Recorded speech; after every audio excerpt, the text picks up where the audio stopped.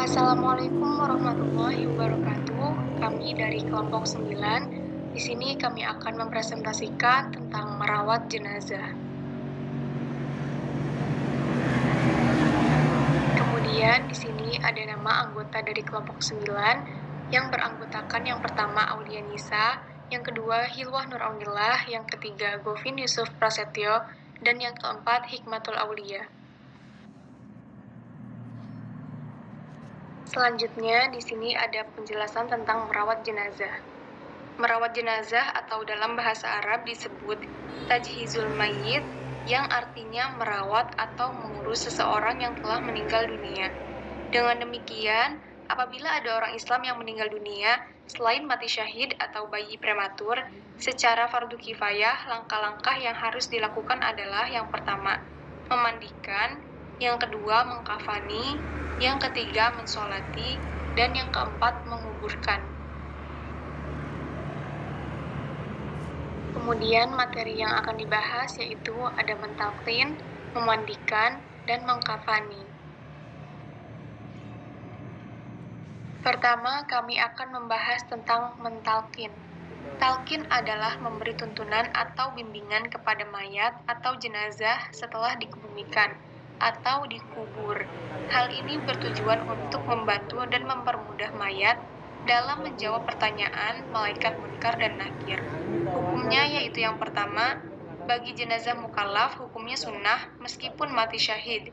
Yang kedua, bagi jenazah anak kecil terdapat perbedaan pendapat. Yang pertama menurut sebagian ulama tetap sunnah, tetapi menurut Ibnu Hajar dan Imam Nawawi tidak disunahkan karena anak kecil ketika dalam kubur tidak akan ditanya malaikat munkar dan nakir. Selanjutnya, tata cara mentalkin. Yang pertama, pentalkin duduk dengan posisi menghadap ke timur dan lurus dengan kepala mayat. Yang kedua, dalam pembacaan doa talkin disunahkan untuk diulang sebanyak tiga kali. Yang ketiga, sebaiknya yang pentalkin adalah salah satu wakil keluarga atau orang yang ahli ibadah. Dan yang keempat, pentazia sebaiknya berdiri. Kemudian di dalam slide terdapat contoh bacaan talqin mayit.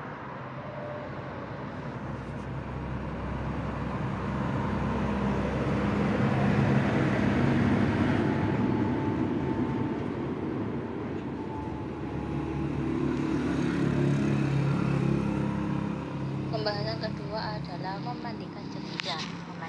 Jenazah merupakan bagian dari varian dari merawat.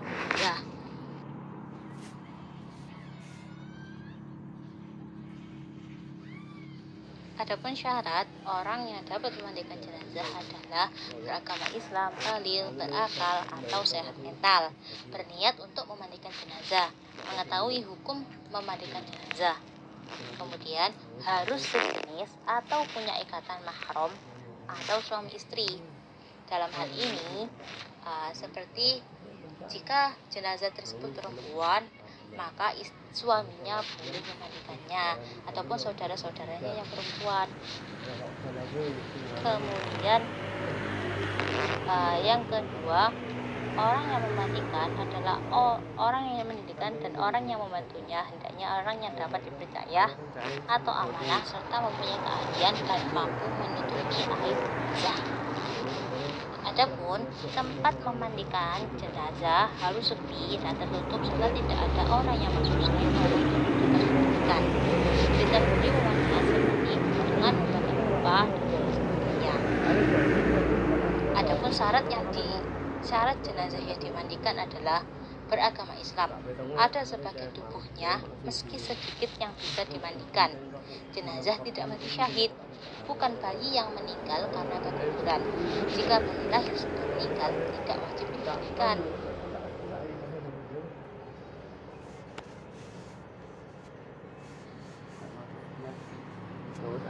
Kemudian tata cara memandikan jenazah. Batas minimal dari memandikan jenazah adalah membersihkan, menghilangkan seluruh najis yang ada pada tubuh mayat tersebut. Kemudian meratakan air ke, ke seluruh tubuh mayat termasuk bagian-bagian yang tertutup ataupun seperti kemaluan. Seperti uh, sesuatu yang tampak dari kemaluan janda ketika duduk dan bagian dalam alat kemaluan laki-laki yang hitam serta bibir kemaluan yang kelihatan tatkala jongkok.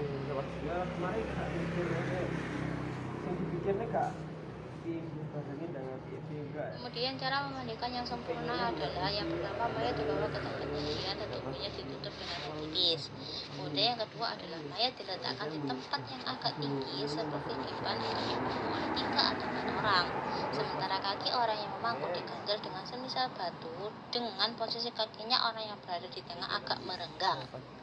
Kemudian yang tiga adalah punggung mayat disandarkan pada lutut orang yang memangku dan pundaknya disanggah dengan tangan kanan dan meletakkan ibu jari pada tengkuk mayat untuk menjaga kepala agar tidak miring.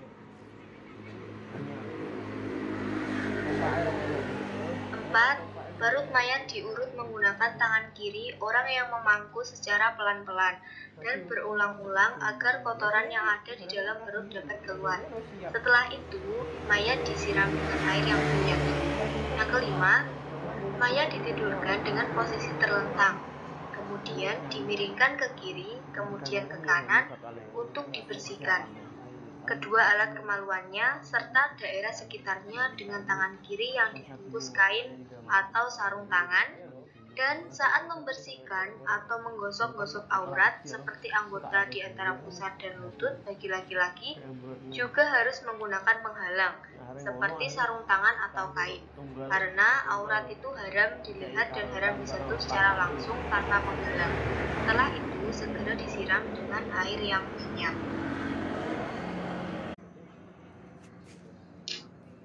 Yang keenam, Mengambil kain lain yang dibasahi untuk membersihkan gigi dan lubang hidung dengan jari telunjuk, tangan kiri, serta membersihkan kotoran yang ada pada kuku, telinga, dan mata. Yang ketujuh, mewudukan mayat persis seperti wudhunya orang yang hidup, baik rukun dan syaratnya dan diusahakan mulut mayat tidak terbuka agar air tidak masuk ke dalam. Kemudian mengguyur kepala mayat serta jenggot dengan air yang dicampur daun bidara atau syampur. Adapun niat wudhunya yaitu Bismillahirrahmanirrahim Nawaitu wudhu al-masnuna lihadil mayyiti lillahi ta'ala Yang keenam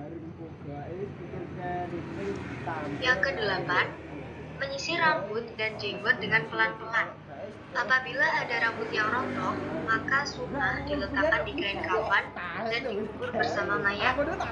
Yang kesembilan, mengguyurkan air yang telah dicampur udara atau sabun ke anggota badan depan mayat sebelah kanan, mulai leher sampai kaki, serta menggosok-gosok tubuh mayat dengan pelan-pelan.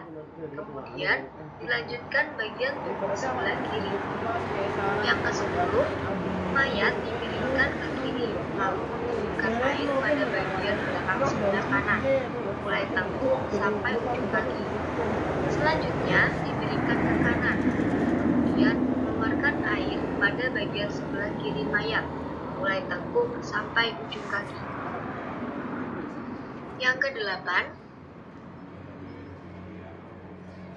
Yang ke-11, mengguyur seluruh tubuh mayat mulai kepala sampai kaki dengan air yang murni atau tidak dicampur daun bidara atau sabun.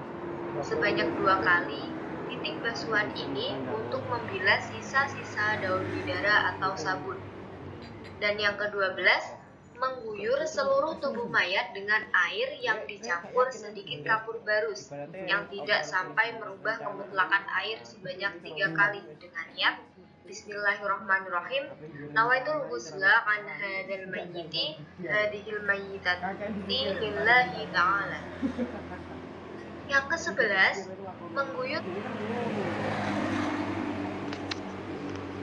Selanjutnya yang ketiga yaitu kami akan membahas cara mengkafani jenazah. Hal-hal yang harus dipersiapkan. Satu, kapas yang sudah diberi wewangian. Dua, kain kafan yang sudah diberi wewangian.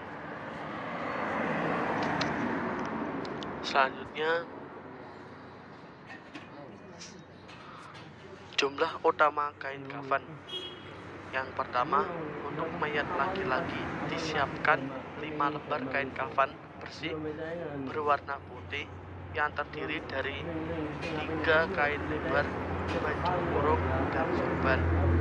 Kedua, untuk mayat perempuan, siapkan lima lembar kain kafan yang terdiri dari dua lembar kain lebar, baju kurung, kerudung, dan sarung. gelem mesek lah tapi saya gelem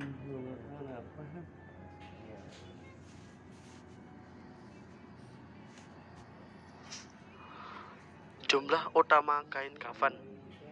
Yang pertama, untuk mayat laki-laki disiapkan 5 lembar kain kafan bersih berwarna putih yang terdiri dari tiga kain lebar, baju kurung, dan sorban.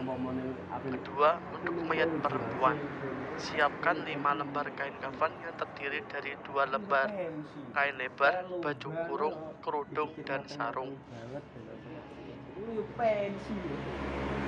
Tata cara kafani jenazah. Yang pertama, letakkan lembaran-lembaran kain lebar, baju kurung, lalu sorban untuk mayat laki-laki atau sarung baju kurung bagi mayat perempuan. Yang selanjutnya, letakkan mayat yang telah selesai dimandikan dan ditaburi wewangian di atas kain kafan dengan posisi terlentang dan posisi tangan disedekapkan. Yang ketiga, letakkan kapas yang telah diberi wewangian pada anggota-anggota tubuh yang lubang. Anggota tubuh tersebut meliputi kedua mata, kedua lubang hidung, kedua telinga, dan mulut. Selain itu, juga letakkan kapas pada kening mayat, kedua telapak tangan, di antara kedua pergelangan pergelangan tangan, kedua lutut, di antara jari-jari tangan, di antara jari-jari kaki, serta anggota tubuh yang terluka. Tata cara mengkafani jenazah. Keempat, kedua pantat mayat diikat dengan kain. Yang kelima, kemudian kain kafan dili- dilipatkan dengan urutan. Yang pertama, melipatkan kain sisi kiri menuju ke kanan. Kemudian melipatkan kain sisi kanan menuju ke kiri. Untuk mendapatkan lapis kedua dan selanjutnya, caranya sama dengan di atas. Langkah ini dilakukan setelah pemakaian baju dan titik dan diusahakan kain pocong kepala lebih panjang. Enam, Setelah semua kain kafan telah dilipat, kemudian ujung masing-masing kain kafan yang ada di kepala dan kaki disatukan, serta ditarik agar rapat. Setelah itu, mayat diikat pada bagian atas, tengah, dan kaki dengan ikut dengan ikat simpul atau tali mangsul. Dan posisi ikatan berada di bagian kiri mayat. Untuk, perempuan, ditambah ikatan pada bagian badannya.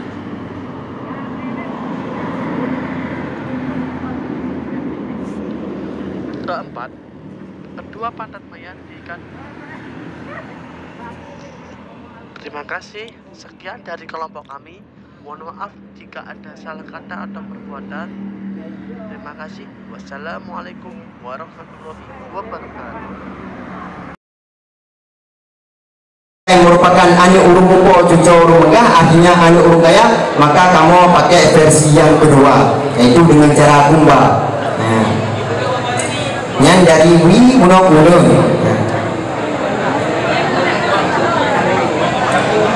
nah. lakukan dikala kapur kapan banyak dia berapi ya berapi mai bawa jero bak lagi jero dan tak berapi dah sampai ya. ya, lakukan secara rapi ya, Alhamdulillah nyokan he kadua go lipat Alhamdulillah rapi-rapikan karena urun pegafan yang merupakan acara internasional yang ikonnya ia pacu gunung kiri Alhamdulillah. Ayo dah urun ya. Dah rapi kemudian lapisan yang terakhir. Ya. Dan biniuk lapisan yang terakhir nyona limau krek talau yang kalian persediakan. Limau krek talau tikrek buat ulai tikrek buat dada tikrek buat keing dan tikrek buat lipatan perut dan bah yang yang terakhir pak pocong kaki yang duduk tafaul bah rukun Islam yang limau dan di kala taika yang beberapa uwi becut dikarenakan oh dapat seorang kubu yang mengatakan karena mayat untuk tak berhadap kiblat ha. yang tak ibu budak berberat bumi betul Taikal dari dari ulai hanya mereka juga dada Nyo kan hanya timang wudhu Nyata usahakan timang Wudhu yang kedua Bak kita dada. Punya pada timang Tak orang hanya ada timpamanya Ya. Yang mereka kubrawi Lagi ada pegang bunuh Supaya nggak menghadapnya Nanti enam kubu Kali yang pertama. Yang mereka Bek tajud Bek tajud Maka tajud tajud Nanti dapat ambil tulang kubu Maka bek tajud Ika kira-kira Kado ya, Dan bunyi dapat untuk Untuk ulang kubu Kali mereka dua Krek yang kedua Yang timang Pak keing timangnya. Ya. Dan krek selanjutnya Timang bak turun timangnya. Yang terakhir bak Ujung kaki semuanya Dan ujung pojok kaki man bak ule Nyo Utakan berat Gebeh ule betul Ka Alhamdulillah Ka Liuk yang keput Krek yang terakhir Iaitu bak kaki Kali mereka Jino Bapak kaki pun kadu Jino ketamang dalam farzu kifayah yang kedua Iaitu kul sembahyang manyen Alhamdulillah Sembahyang pun kadu Jino ketamang mak farzu kifayah yang kedua Iaitu ta Kebumikan semanyen hmm.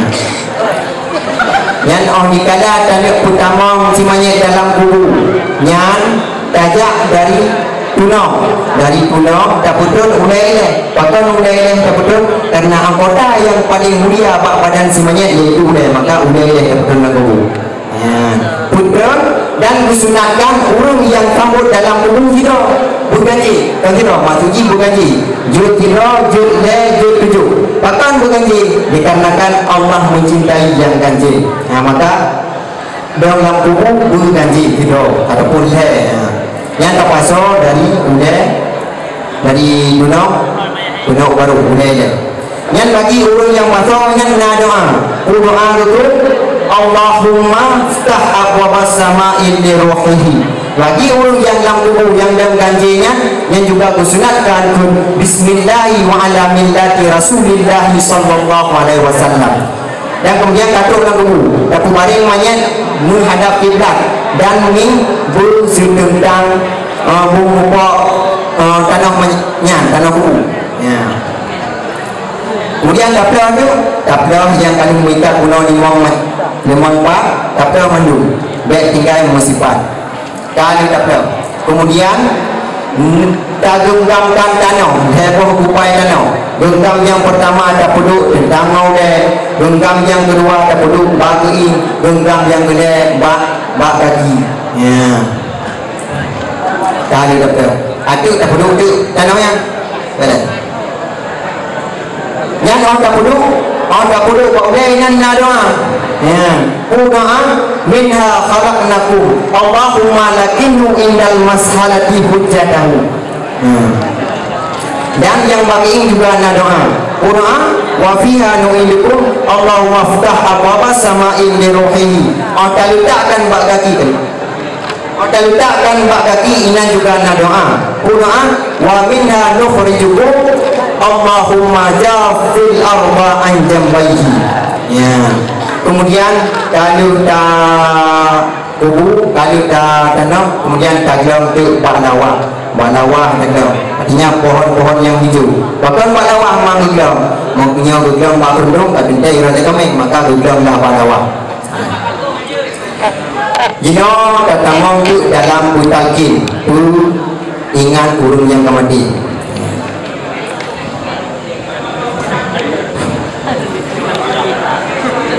بسم الله الرحمن الرحيم. لا إله إلا الله وحده لا شريك له. الملك وله الحمد يحيي ويميت. وهو حي دائم لا يموت بيده الخير.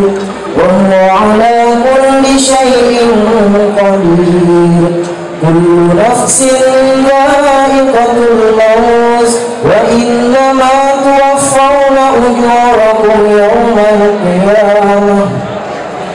فمن زحزح عن النار وأدخل الجنة فقد فاز وما الحياة الدنيا إلا متاع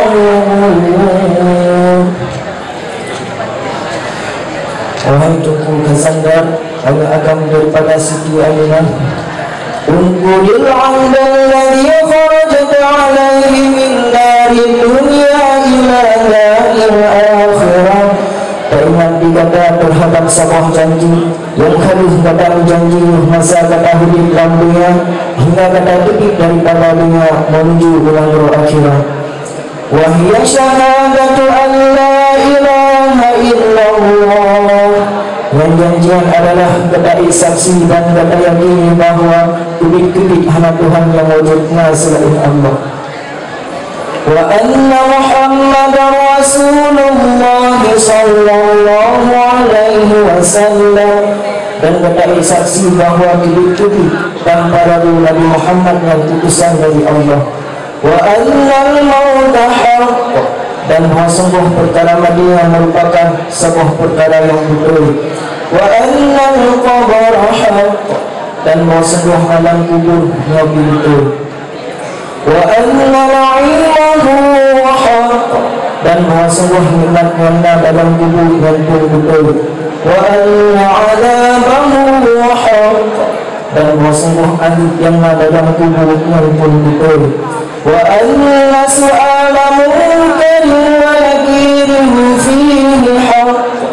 dan sungguh pertanyaan-pertanyaan yang dalam kubur yang di malaikat mungkar dan malaikat nakir pun betul. wa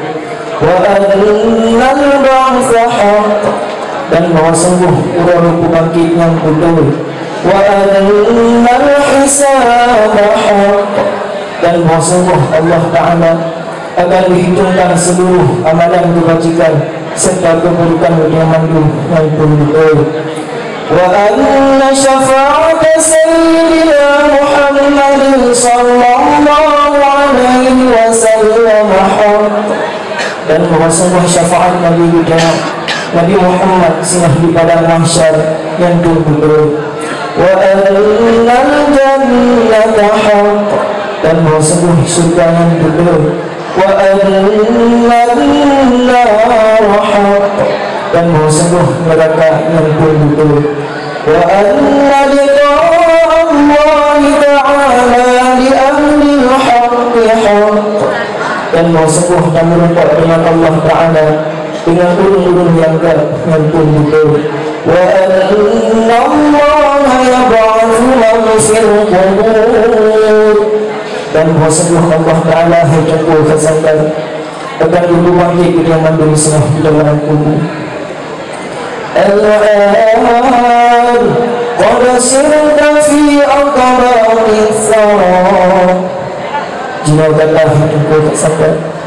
Sungguh berada dalam dalam lepisan lepisan penuh Wabaila asakir mauta Dan berada kata di antara perkumpulan burung-burung meninggal Yang tak awal daripada kata Fa'idha ja'akal malakal mu'talik Maka diketika ini Ibu langkah kamu tinggal kata akan keluar malaikat yang di Allah Ta'ala kepada kata wa huma munkaru wa nakir yang malaikatnya adalah malaikat munkar dan malaikat nakir. Fala yufzi'a maksud dan tujuan roh orang malaikat yang bukanlah yang putih kejut kata maka putih kejut kata. Wala yurhibak dan kan dia kata maka beliau kata fa innahu ma khalqum min khalqillah ta'ala azza wa jalla. Karena dua malaikat yang sama sebagai kata sama-sama makhluk daripada makhluk Allah Ta'ala. Fa'idha sa'ala Maka apabila dua orang malaikat yang di dunia yang berkata Ma'rabbuka Tuhan kata Wa ma'nabiyuka Dan Nabi kata Wa ma'nabiyuka Dan itu kata Wa ma'nabiyuka dan hakikat kata wa ma imanuka dan tahdimun kata wa ma ikhwanuka dan sesama dan saudara-saudara kata. Fakul lahuma maka dijauh hidupku kesambar terhadap para malaikatnya bilisanin fasih dengan lidah yang fasih waktu qalin sahih dan dengan hidup yang sahih Allahu Rabbi Allah adalah Tuhanku wa Muhammadun Nabi Muhammad Nabi wal Islam Islam agamamu wal Ka'batu qiblati Ka'bah merupakan hadapan kiblatmu wal Qur'anu imami Al-Quran sebagai imammu wal muslimuna wal mu'minuna ikhwani urung-urung Islam serta urung-urung yang beriman yang malu-malu di saudaramu Waqul dan berkendang berkata hidupku kesampai Raditu billahi rabba Mengerti Allah sebagai Tuhanmu Wa bil islami dina Dan menerima Islam sebagai agamamu Wa bi Muhammadin sallallahu alaihi wasallam Nabiyan wa rasulah Dan pula juga Muhammad sebagai Nabi dan Rasulullah ala dzalika huis karena kan dia firman yang kata dulu wa ala dzalika huis jadi firman yang pun kata dulu mati. Wa ala dzalika mudha'af jadi firman yang pula semua. Kata akan jadi mati. Insya Allah Ta'ala minal aminin Mudah-mudahan Insya Allah buruh darah hidupku kesempat Buruh dalam golongan burung-burung yang tenang ثبتك الله بالقول الثالث ثبتك الله بالقول الثالث ثبتك الله بالقول الثالث يثبت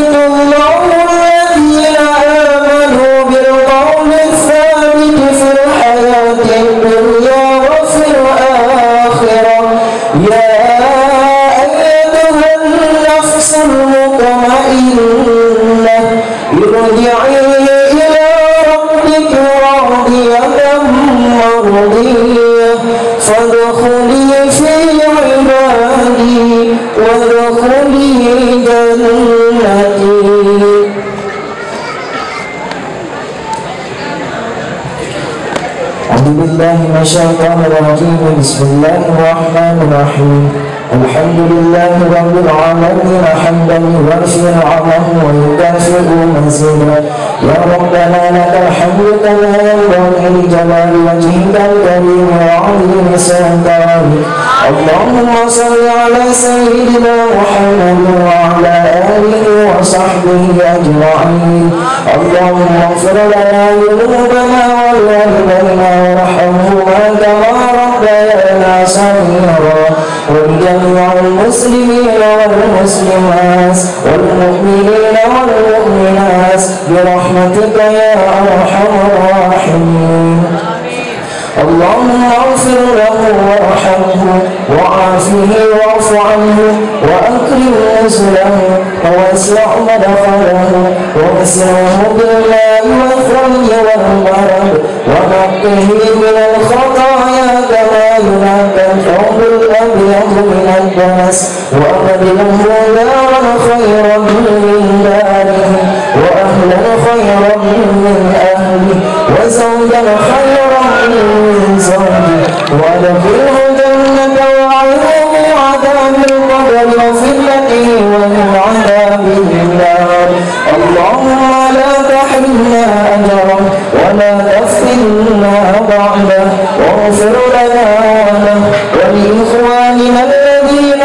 يسبقون إلى الإيمان